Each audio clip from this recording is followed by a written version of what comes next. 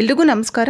ಹಿಮಶ್ರೀ passion ಚಾನಲ್ಗೆ ಸ್ವಾಗತ. ಬನ್ನಿ, ಇವತ್ತು ಮೃದುವಾಗಿರುವಂಥ ತಟ್ಟೆ ಇಡ್ಲಿ ಮತ್ತು ಸಿಂಪಲ್ಲಾಗಿ ಒಂದು ಸಾಂಬಾರು ಹೇಗೆ ಮಾಡೋದು ಅಂತ ನಾನು ನಿಮಗೆ ತೋರಿಸ್ಕೊಡ್ತೀನಿ. ಈ ರೀತಿ ಇಡ್ಲಿ ಮತ್ತು ಸಾಂಬಾರು ಮಾಡೋದು ತುಂಬಾ ಸುಲಭ. ಇದಕ್ಕೆ ಅಕ್ಕಿ, ನೆನೆ ಹಾಕೋದು, ರುಬ್ಬೋದು, ಬೇಳೆ ಬೇಯಿಸೋದು, ಇದು ಯಾವುದ್ರ ತಲೆನೋವು ಇರೋದಿಲ್ಲ. ತುಂಬ ಸಿಂಪಲ್ಲಾಗಿ ಮಾಡ್ಕೋಬೋದು. ಬೆಳಗಿನ ಹೊತ್ತು ತಿಂಡಿ ಮಾಡೋದಕ್ಕೆ ಅಷ್ಟು ಸಮಯ ಹೆಣ್ಮಕ್ಳ ಹತ್ರ ಇರೋದೇ ಇಲ್ಲ. ಸೊ, ಕಡಿಮೆ ಸಮಯದಲ್ಲಿ ಹೆಲ್ತಿಯಾಗಿರುವಂಥ ಬ್ರೇಕ್ಫಾಸ್ಟ್ ನೀವು ಮಾಡಬೇಕು ಅನ್ನೋದಾದರೆ ಈ ರೀತಿ ನೀವು ಸಿಂಪಲ್ಲಾಗಿ ಮಾಡ್ಕೋಬೋದು.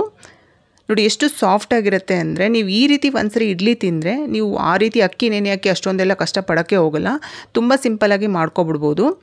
ಸಾಂಬಾರು ಅಷ್ಟೇ ತುಂಬ ಟೇಸ್ಟಿಯಾಗಿರುತ್ತೆ ಬನ್ನಿ ಈಗ ಫಸ್ಟು ಸಾಂಬಾರು ಮಾಡೋದು ಹೇಗೆ ಅಂತ ನಾನು ನಿಮ್ಗೆ ತಿಳಿಸ್ಕೊಡ್ತೀನಿ. ಮಸಾಲೆ ಎಲ್ಲ ಉರಿಯೋದಕ್ಕಿಂತ ಮುಂಚೆ ನಾನು ಒಂದು ನಿಂಬೆ ಹಣ್ಣಿನ ಗಾತ್ರದಷ್ಟು ಹುಣಸೆ ಹಣ್ಣನ್ನು ಒಂದು ಬೆಚ್ಚಗಿರುವಂಥ ನೀರಲ್ಲಿ ನೆನೆ ಹಾಕಿ ಇಟ್ಕೊಂಡಿದ್ದೀನಿ. ಈಗ ಸ್ಟವ್ ಹಚ್ಚಿ ಒಂದು ಪ್ಯಾನ್ ಇಟ್ಟು ಒಂದು ಎರಡು ಸ್ಪೂನಷ್ಟು ಉದ್ದಿನಬೇಳೆ, ಎರಡು ಸ್ಪೂನಷ್ಟು ಕಡಲೆಬೇಳೆನ ಹಾಕಿ ಚೆನ್ನಾಗಿ ಹುರ್ಕೋಬೇಕು.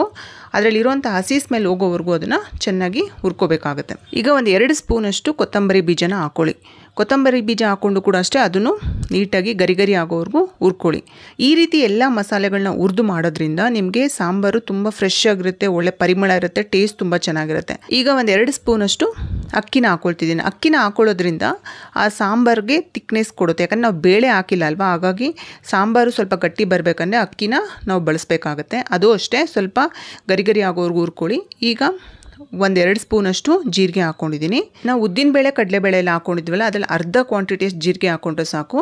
ಯಾಕಂದರೆ ಜೀರಿಗೆ ಒಳ್ಳೆ ಟೇಸ್ಟು ಕೊಡುತ್ತೆ ಮತ್ತು ಸಾಂಬಾರಲ್ಲಿ ಒಳ್ಳೆ ಪರಿಮಳನೂ ಇರುತ್ತೆ. ನಾನಿಲ್ಲಿ ಒಂದು ಸ್ಪೂನಷ್ಟು ಕಾಳು ಮೆಣಸನ್ನ ಹಾಕ್ಕೊಂಡಿದ್ದೀನಿ ನಿಮಗೆ ಸ್ಪೈಸಿನೆಸ್ ಅಷ್ಟೊಂದು ತಿನ್ನಲ್ಲ ನೀವು ಅಂದರೆ ಮೆಣಸನ್ನು ಕಡಿಮೆ ಮಾಡ್ಕೊಳ್ಳಿ.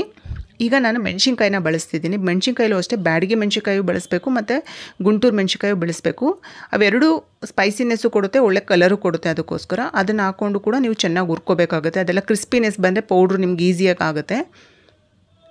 ಆಮೇಲೆ ನೀವು ಇದಕ್ಕೆ ತೆಂಗಿನಕಾಯಾದ್ರು ಬಳಸ್ಬೋದು, ಇಲ್ಲ ಕೊಬ್ಬರಿ ಆದರೂ ಬಳಸ್ಬೋದು.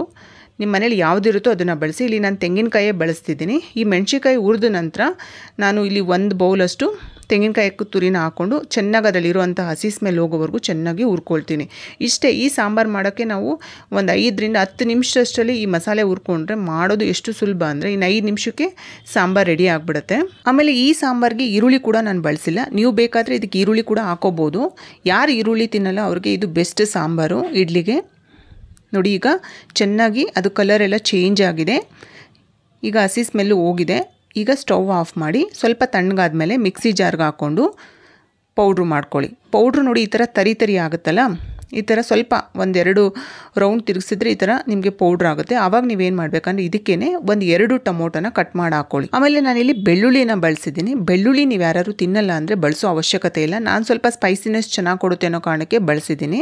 ನಾನಿಲ್ಲಿ ಒಂದು ಗೆಡ್ಡೆ ಬೆಳ್ಳುಳ್ಳಿನ ಬಿಡಿಸ್ಕೊಂಡು ಅದರ ಹೆಸರನ್ನ ಹಾಕಿದ್ದೀನಿ. ನೋಡಿ, ಈಗ ಬೆಳ್ಳುಳ್ಳಿ ಮತ್ತು ಟೊಮೊಟೊ ಎರಡೂ ಹಾಕಾದ್ಮೇಲೆ ಇದನ್ನು ಚೆನ್ನಾಗಿ ಪೇಸ್ಟ್ ಮಾಡ್ಕೋಬೇಕಾಗತ್ತೆ. ಇದನ್ನು ಚೆನ್ನಾಗಿ ಪೇಸ್ಟಾಗಿ ನುಣ್ಣಗೆ ಮಾಡ್ಕೊಳ್ಳಿ. ಪೇಸ್ಟ್ ಮಾಡಿಟ್ಕೊಂಡ್ರೆ ನೀವು ಸಾಂಬಾರನ್ನ ತುಂಬ ಈಸಿಯಾಗಿ ಇನ್ನೊಂದು ಐದು ನಿಮಿಷದಲ್ಲಿ ಸಾಂಬಾರು ರೆಡಿ ಆಗುತ್ತೆ. ನೋಡಿ, ಈ ರೀತಿ ನುಣ್ಣಗಾಗಿದೆ. ನೀವು ಮಸಾಲೆ ಉರಿತಿದ್ದಾಗ ಏನು ಮಾಡಬೇಕಂದ್ರೆ, ಒಂದು ಕಡಾಯಲ್ಲಿ ಒಂದು ಲೀಟ್ರಷ್ಟು ನೀರನ್ನು ಹಾಕಿ ಚೆನ್ನಾಗಿ ಕುದಿಯೋಕೆ ಇಟ್ಬಿಟ್ರೆ ನಾವು ಮಸಾಲೆ ರುಬ್ಕೊಂಡಿದ್ದ ತಕ್ಷಣ ಏನು ಮಾಡ್ಬೋದು ಅಂದರೆ ಆ ಮಸಾಲೆ ಎಲ್ಲ ಅದರೊಳಗಡೆ ಹಾಕಿ ಚೆನ್ನಾಗಿ ಕುದಿಸ್ಕೋಬೋದು. ನೋಡಿ, ಈಗ ಮಸಾಲೆ ಹಾಕಿದ್ಮೇಲೆ ಒಂದ್ಸರಿ ಚೆನ್ನಾಗಿ ಮಿಕ್ಸ್ ಮಾಡ್ಕೊಳ್ಳಿ. ನಾವಿಲ್ಲಿ ಬಿಸಿ ನೀರನ್ನ ಬಳಸಿರೋದ್ರಿಂದ ಬೇಗನೆ ಇದು ಕುದಿ ಬಂದ್ಬಿಡತ್ತೆ ನಿಮಗೆ. ಇದು ಕುದಿ ಬರೋ ಅಷ್ಟರಲ್ಲಿ ಹುಣಸೆ ಹಣ್ಣಿನ ರಸನ ತೆಗೆದಿಟ್ಕೊಳ್ಳಿ. ನಾನೀಗ ರುಚಿಗೆ ತಕ್ಕಷ್ಟು ಉಪ್ಪನ್ನ ಹಾಕ್ತಿದ್ದೀನಿ. ಉಪ್ಪು ಹಾಕಿದ ಮೇಲೆ ಚೆನ್ನಾಗಿ ಒಂದು ಎರಡು ನಿಮಿಷ ಕುದಿಲಿ. ಆ ಕುದಿ ಬರುತ್ತಲ್ಲ, ಆ ಸಮಯದಲ್ಲಿ ನೀವೇನು ಮಾಡಬೇಕಂದ್ರೆ ಹುಣಸೆ ಹಣ್ಣಿನ ರಸ ನೀವು ತೆಗೆದಿಟ್ಕೊಂಡಿದ್ರಲ್ಲ, ಅದನ್ನು ಹಾಕಿ, ಅದನ್ನು ಹಾಕಾದ್ಮೇಲೆ ಜೊತೆಗೇ ಸ್ವಲ್ಪ ಇದಕ್ಕೆ ಸಿಹಿ ಇದ್ದರೆ ಚೆನ್ನಾಗಿರುತ್ತೆ. ಒಂದು ಎರಡು ಸ್ಪೂನಷ್ಟು ಬೆಲ್ಲದ ಪೌಡ್ರನ್ನ ಹಾಕಿದ್ದೀನಿ ನಾನು. ಯಾಕಂದರೆ ಇದಕ್ಕೆ ಉಪ್ಪು, ಹುಳಿ, ಖಾರ ಅದೆಲ್ಲ ಸ್ಪೈಸಿನೆಸ್ ಇದ್ದರೆ ಇಡ್ಲಿಗೆ ನೆಂಚ್ಕೊಳ್ಳೋಕ್ಕೆ ತುಂಬ ಚೆನ್ನಾಗಿರುತ್ತೆ. ನೋಡಿ, ಎಷ್ಟು ಹದವಾಗಿದೆ ಗಟ್ಟಿ ಕೂಡ ಬರ್ತಿದೆ. ನಮಗೆ ಬೆಳಗಿನ ಹೊತ್ತು ಬೇಳೆ ಎಲ್ಲ ಬೇಯಿಸಿ ಅದಕ್ಕೊಂದು ಕಾಲು ಗಂಟೆ, ಅರ್ಧ ಗಂಟೆ ಸಮಯನ ವೇಸ್ಟ್ ಮಾಡಿ ಈರುಳ್ಳಿ ಎಲ್ಲ ಹಚ್ಕೊಂಡು ಅದೆಲ್ಲ ಅಷ್ಟೊಂದು ಸಮಯ ಇಲ್ಲದೆ ಇದ್ದಾಗ ಈ ರೀತಿ ಮಾಡಿ ತುಂಬ ಟೇಸ್ಟಿಯಾಗಿರುತ್ತೆ ತುಂಬಾ ಇಷ್ಟಪಟ್ಟು ತಿಂತಾರೆ. ಈಗ ಚೆನ್ನಾಗಿ ಕುದ್ದಾಗಿದೆ.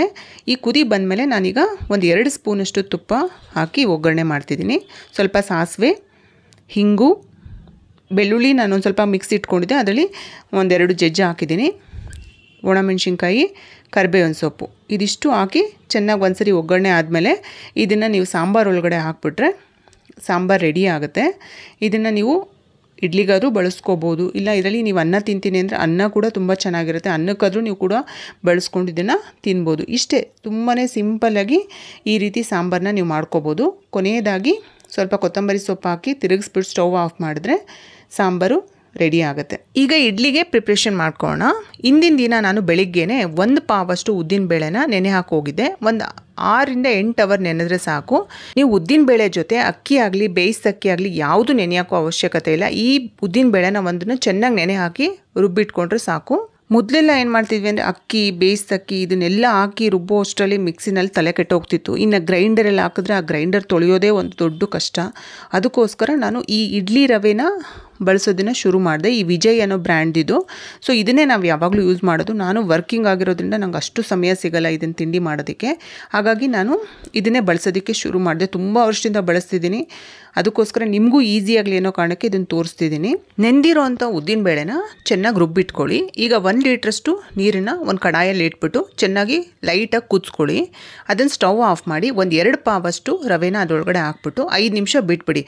ಐದು ನಿಮಿಷ ಬಿಟ್ಟರೆ ಆ ರವೆ ಎಲ್ಲ ತುಂಬ ಸಾಫ್ಟಾಗಿ ಆಗುತ್ತೆ ಆ ತಣ್ಣಗಾದ್ಮೇಲೆ ಅದನ್ನು ಚೆನ್ನಾಗಿ ಹಿಂಡ್ಬಿಟ್ಟು ಉದ್ದಿನಬೇಳೆ ರುಬ್ಬಿಟ್ಕೊಂಡಿರ್ತೀರಲ್ಲ, ಅದರೊಳಗಡೆ ಹಾಕ್ಕೊಳ್ಳಿ ನೀವು ಈ ರೀತಿ ಮಿಕ್ಸ್ ಮಾಡಿ ನೀವು ಕಲಸಿಡೋದ್ರಿಂದ ಇಡ್ಲಿ ನಿಮಗೆ ಬೆಳಗ್ಗೆ ತುಂಬ ಸಾಫ್ಟಾಗಿರುತ್ತೆ ಮತ್ತು ಮರಳು ಮರಳಾಗಿರುತ್ತೆ ಬಾಯಲ್ಲಿ ಹಾಕ್ಕೊಂಡ್ರೆ ಒಂಥರ ಬಿಡಿಬಿಡಿಯಾಗಿ ನಿಮ್ಗೆ ಸಿಗುತ್ತೆ. ಮತ್ತು ಇದರಲ್ಲಿ ಬೇಯಿಸ್ತಕ್ಕಿ ಇರುತ್ತೆ, ಮತ್ತು ರವೆ ಮಿಕ್ಸ್ ಮಾಡಿರೋದ್ರಿಂದ ಅದು ಸಾಫ್ಟ್ ಆದಷ್ಟು ನಿಮಗೆ ಟೇಸ್ಟು ಚೆನ್ನಾಗಿ ಬರುತ್ತೆ. ಮತ್ತು ಬೆಳಿಗ್ಗೆ ಅಷ್ಟು ಚೆನ್ನಾಗಿ ಇಡ್ಲಿ ಇಟ್ಟು ಚೆನ್ನಾಗಿ ಹುಳಿ ಬಂದು ಅದು ಚೆನ್ನಾಗಿ ಉಬ್ಬಿರುತ್ತೆ. ಆವಾಗ ನಿಮಗೆ ಇಡ್ಲಿ ಸಾಫ್ಟಾಗಿ ಬರುತ್ತೆ. ನೋಡಿ, ಈ ರೀತಿ ಚೆನ್ನಾಗಿ ಕಲಸಿಟ್ಬಿಡಿ. ನಾನು ಹಾಕಿರೋ ಕ್ವಾಂಟಿಟಿಲಿ ನೀವು ಮಾಡಿದ್ರೆ ಇಲ್ಲಾಂದ್ರೂ ಒಂದು ಇಪ್ಪತ್ತೈದು ಇಡ್ಲಿ ಆಗುತ್ತೆ. ಅಷ್ಟು ಅವಶ್ಯಕತೆ ಇಲ್ಲ. ನಾನು ಅದರಲ್ಲಿ ಒಂದು ಅರ್ಧದಷ್ಟು ತೆಗೆದಿಟ್ಬಿಟ್ಟಿದ್ದೀನಿ ಇನ್ನು ಅರ್ಧದಷ್ಟಲ್ಲಿ ಸ್ವಲ್ಪ ಉಪ್ಪು ಹಾಕಿ ಚೆನ್ನಾಗಿ ಕಲಸಿಟ್ಟಿದ್ದೀನಿ ಇನ್ನು ಅರ್ಧನ ಫ್ರಿಜ್ಜಲ್ಲಿ ಇಟ್ಟಿದ್ದೀನಿ ಈಗ ನೋಡಿ ನೆಕ್ಸ್ಟ್ ಅದನ್ನು ತೆಗೆದು ನೋಡಿದಾಗ ಯಾವ ರೀತಿ ಎಷ್ಟು ಹದವಾಗಿ ಅದು ಹುಬ್ಬಿದೆ ಮತ್ತು ಹುಳಿ ಕೂಡ ಚೆನ್ನಾಗಿ ಬಂದಿದೆ. ಇದು ನೋಡ್ತಿದ್ದಂಗೆ ನಮ್ಗೆ ಗೊತ್ತಾಗ್ಬಿಡುತ್ತೆ. ಇಡ್ಲಿ ಸಾಫ್ಟಾಗಿ ಬರುತ್ತಾ ಇಲ್ಲ ಅಂತ. ಮತ್ತು ಇದರಲ್ಲಿ ಯಾವುದೇ ರೀತಿ ನಾನು ಸೋಡಾ ಬಳಸಿಲ್ಲ.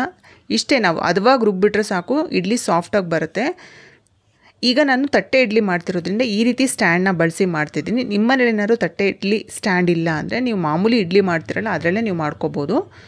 ಫಸ್ಟು ನಾನು ಒಂದೊಂದು ಡ್ರಾಪಷ್ಟು ಎಣ್ಣೆನ ಹಾಕಿ ನೀಟಾಗಿ ಅದನ್ನು ಸೌರ್ ಇಟ್ಕೊಳ್ತಿದ್ದೀನಿ. ನೀವು ಈ ರೀತಿ ತಟ್ಟೆ ಇಡ್ಲಿ ಮಾಡಿದ್ರೆ ಒಂದು ತಿಂದ್ರೇ ಸಾಕು, ಅಷ್ಟು ಹೆವಿ ಆಗಿರುತ್ತೆ. ಇದಕ್ಕೆ ನೀವು ತಟ್ಟೆ ತುಂಬ ಉಯ್ಯೋ ಅವಶ್ಯಕತೆ ಇಲ್ಲ. ಅರ್ಧರ್ಧ ಬರೋಷ್ಟು ನೀವು ಉಯ್ದ್ರೆ ಸಾಕು. ಯಾಕಂದರೆ ಅದು ಹುಬ್ಬೋದ್ರಿಂದ ನಿಮಗೆ ದಪ್ಪ ಬರುತ್ತೆ ಅದಕ್ಕೋಸ್ಕರ. ನೋಡಿ, ಈಗ ನಾನು ಎಲ್ಲ ತಟ್ಟೆನು ರೆಡಿ ಮಾಡಿಟ್ಕೊಳ್ತಿದ್ದೀನಿ ಅದೇ ರೀತಿ. ಈ ಸ್ಟ್ಯಾಂಡಲ್ಲಿ ಒಂದು ಆರು ಪ್ಲೇಟ್ ಬರುತ್ತೆ. ನೀವು ಒಂದು ಸರಿಗೆ ಆರು ಇಡ್ಲಿನ ರೆಡಿ ಮಾಡ್ಕೋಬಹುದು ಈ ರೀತಿ ಎಲ್ಲ ಸ್ಟ್ಯಾಂಡ್ ರೆಡಿ ಮಾಡ್ಕೊಂಡಾದ್ಮೇಲೆ ಸ್ಟವ್ ಹಚ್ಚಿ ಇಡ್ಲಿ ಪಾತ್ರೆ ಬರುತ್ತಲ್ಲ, ಅದರಲ್ಲಿ ಸ್ವಲ್ಪ ನೀರು ಹಾಕ್ಬಿಟ್ಟು ನೀವು ಬೇಯಿಸ್ಕೋಬೇಕಾಗುತ್ತೆ. ಸೇಮ್ ಸಮಯನೇ, ಸೊ ನೀವು ಬೇರೆ ಇಡ್ಲಿ ಬೇಯಿಸೋದಕ್ಕೆ ಎಷ್ಟು ಹದಿನೈದು ನಿಮಿಷ ತೊಗೋತಿರೋ ಅಷ್ಟೇ ಹದಿನೈದು ನಿಮಿಷ ನೀವು ಇಲ್ಲೂ ಬೇಯಿಸ್ಕೊಂಡ್ರು ಕೂಡ ನಿಮಗೆ ಇಡ್ಲಿ ರೆಡಿ ಆಗುತ್ತೆ. ಇದರಲ್ಲಿ ರವೆ ಮತ್ತು ಅಕ್ಕಿ ಬೇಯಿಸಕ್ಕಿ ಬಳಸಿರೋದ್ರಿಂದ ಆರೋಗ್ಯಕ್ಕೆ ತುಂಬಾ ಒಳ್ಳೆಯದು ಟೇಸ್ಟು ಕೂಡ ತುಂಬ ಚೆನ್ನಾಗಿರುತ್ತೆ. ತುಂಬ ಸಿಂಪಲ್ಲಾಗಿ ಮಾಡ್ಕೋಬೋದು. ಕೆಲಸ ಕಡಿಮೆ ಟೇಸ್ಟ್ ಜಾಸ್ತಿ ಅಂದರೆ ಯಾಕಾಗಬಾರ್ದಲ್ವಾ ಸೊ ಒಂದ್ಸರಿ ಟ್ರೈ ಮಾಡಿ. ಇದು ವಿಜಯ್ ಬ್ರ್ಯಾಂಡ್ ಅವ್ರ ಪ್ರಮೋಷನು ಅಲ್ಲ, ನಾನು ಸ್ಪಾನ್ಸರ್ಶಿಪ್ಪಲ್ಲಿ ಇದನ್ನು ಮಾಡ್ತಾನೂ ಇಲ್ಲ. ನಾನು ಬಳಸ್ತಿರೋದ್ರಿಂದ ಬೇರೆಯವರು ಬಳಸಿ ನಿಮ್ಗೆ ಅನುಕೂಲ ಆಗಲಿ ಅನ್ನೋ ಕಾರಣಕ್ಕೆ ನಾನು ನಿಮ್ಗೆ ಹೇಳ್ತಿದ್ದೀನಿ.